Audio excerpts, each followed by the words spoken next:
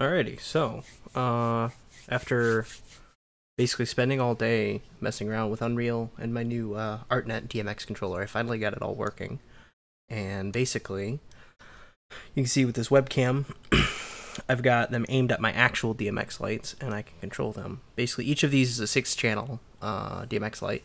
First channel is your fade, and then second channel is your red, green, blue, and then you have a strobe, and you'll notice that uh, Unreal isn't isn't doing the same thing because I don't have it fully set up yet. This is just using the built-in uh, light setups. Then you also have an effects uh, one that just kind of does like some other funky stuff. Anyway, um,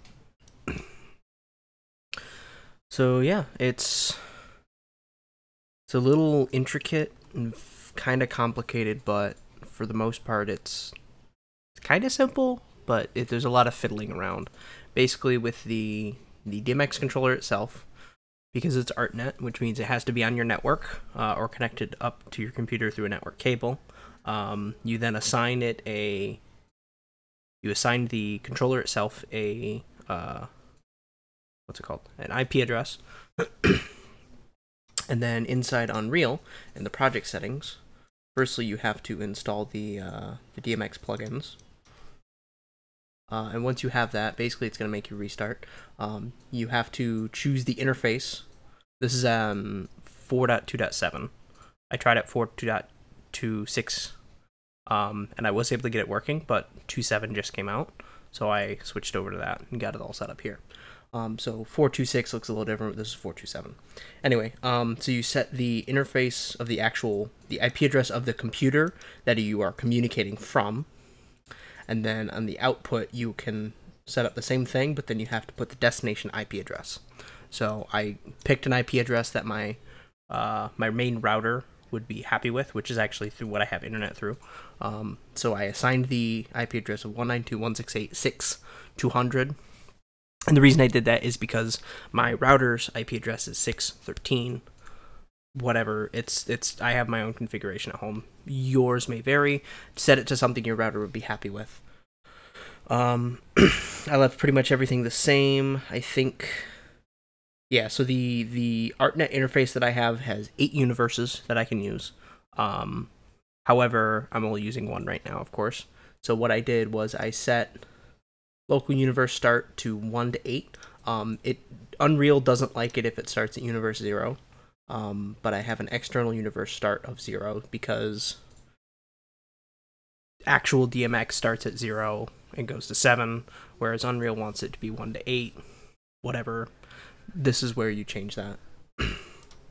and then basically in here you have to create a DMX library. You just right click and go DMX, uh, create library, and then you open that. I just docked it here. And then here you're actually able to set up your input and output. Um, but in order to do that, you actually have to set up your DMX controller. Uh, and for some reason, it's not letting me do that now. So I'm not sure how you're supposed to do it now.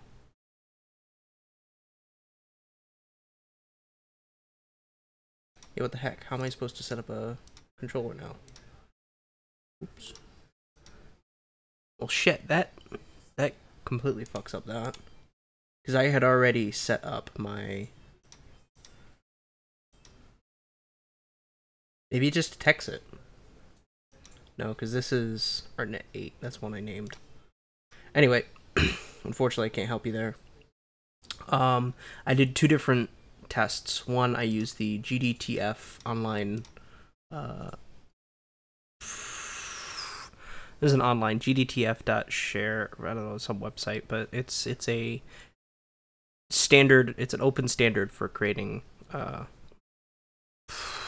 templates for DMX lights. Anyway, I went and created one because I know that the First channel is dimmer, red, green, blue, strobe, and then effects. Um, but then I also manually created one inside of Unreal, basically the exact same thing. For some reason, Unreal doesn't like strobe. Um, they have a shutter, but for some reason, it expects it start like at the bottom of the values is slow, and then as you get up to the top, it goes faster, and then at the very very top, it's like all the way on. So I just disabled that because I'm not really going to use the strobe. Um, whereas on the actual light, it's it's all the way down is off, all the way up is fast strobe, and there's no maximum that goes to all the way on. Anyway, uh, they're both six channels, and then here I have one of them with the GDTF, and the other one is a manual, but they both are completely functional. Um, and then, yeah, in here, you just add these. Well, let's actually stop.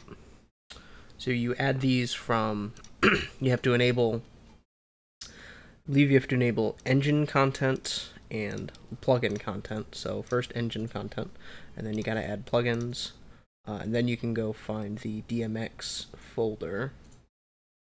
Oh, there's a bunch. So you gotta find the DMX fixtures, and then in here, uh, you can find just the basic. There's one of them somewhere. I don't even know. Yeah, light fixtures, and I just picked the basic static head.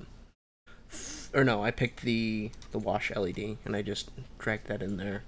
Um, in the tutorial I watched, he said you want to create a child, but I'm not. I'm just learning. I'm not doing anything critical right now. Anyway, so I drag that in. Um, and then from there, you have to select this thing. You go to details, and then in here, you're able to select what DMX library, and that's the one you created here. And in there is where you create your fixtures, or you put your fixtures in. Um, so you select the DMX library, and then you select which patch, which patch you want to use. One of my set to manual, the other one set to GDTF. It doesn't really matter. You can switch them around. And then, yeah, in order for these uh, faders you can see this is actually the the output of the universe it tells you what's going on um, and that is actually affecting the real real lights i can turn them up and off and change the colors and all that um, in order to actually see it reflected in unreal you have to simulate and i hate the way unreal does this uh, that you you physically are missing buttons when you shrink the window anyway so you just go to simulate and boom then the lights reflect what is actually happening here. And It's it's pretty good actually. Um, yeah, it's it's not not too bad. So yeah, uh, next I just need to learn how to make blueprints and figure out how I can make a uh, essentially an, a reflection probe or a light probe, whatever. Um, output a bunch of points that each of them are a different color, and then assign those to a bunch of DMX lights, and I'll be ready to go.